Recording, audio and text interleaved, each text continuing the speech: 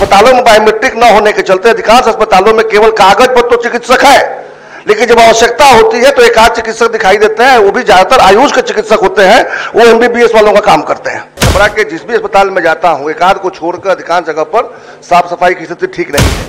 महोदय, मैं, मैंने स्वयं देखा है कि साफ़ सफ़ाई की स्थिति उस अस्पताल में बहुत ही खराब है। और केवल छपरा सदर ही नहीं बल्कि छपरा के जिस भी अस्पताल में जाता हूँ, एकाध को छोड़कर अधिकांश जगह पर साफ़ सफ़ाई की स्थिति ठीक नहीं है। और जहाँ तक महिला चिकित्सकों की बात है कहने को तो वहाँ नौ है, हर, लगभग हर अस्पताल में कुछ न कुछ बड़ी संख्या है, लेकिन उपस्थिति नहीं रहती है। मैं ये चाहूँगा कि अगर मंत्री महोदय बहुत काबिल मंत्री हैं मुझे आपसे यही अपेक्षा है कि बायोमेट्रिक वहाँ लगवा दीजिए। अस्पतालों में बायोमेट्रिक न होने के चलते अधिकांश अस्पतालों में केवल कागज़ पर तो चिकित्सक है। लेकिन जब आवश्यकता होती है तो एक आध चिकित्सक दिखाई देते हैं, वो भी ज़्यादातर आयुष के चिकित्सक होते हैं, वो एमबीबीएस वालों का काम करते हैं। तो ये स्थिति बड़ी मतलब आज तो है नहीं, आपको भी पता होगा, आपके क्षेत्र में भी ऐसा ही होता होगा। मैं मानता हूँ कि सदन में बैठे हुए तमाम सदस्य हमारे बात से सहमत होंगे कि कहने को तो कागज़ पे बहुत सारे चिकित्सक होते हैं, लेकिन उपस्थिति उनकी नहीं होती है। और साफ़ सफ़ाई का भी लगभग वही हालचाल हर जगह है। कहने को चौवालीस कर्मचारी काम कर रहे होंगे, लेकिन खोजने जाएगा तो चार पाँच भी नहीं दिखेंगे।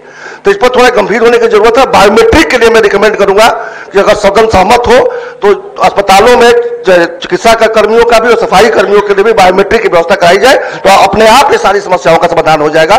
कागज़ पर तो यह है, मैं भी स्वीकार करता हूँ।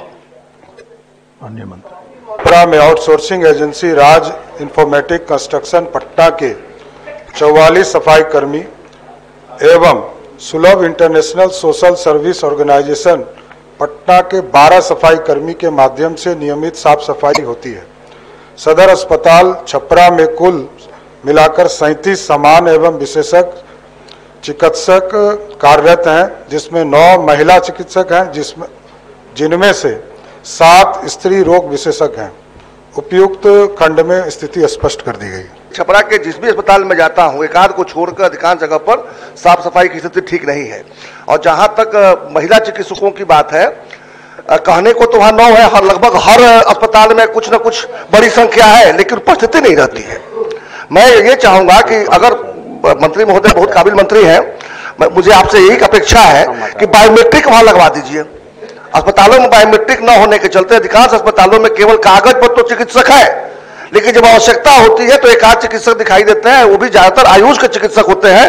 वो एमबीबीएस वालों का काम करते हैं। देशवा न्यूज़ पर वीडियो देखने के लिए लाइक करें, सब्सक्राइब करें।